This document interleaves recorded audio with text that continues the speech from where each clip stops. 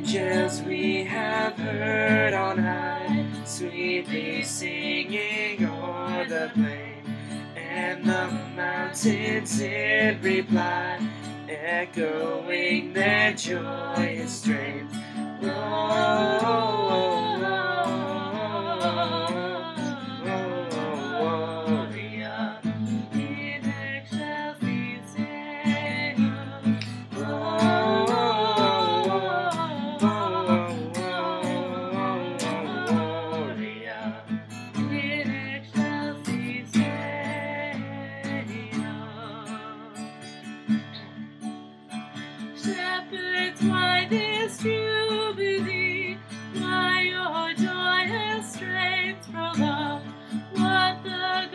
myself.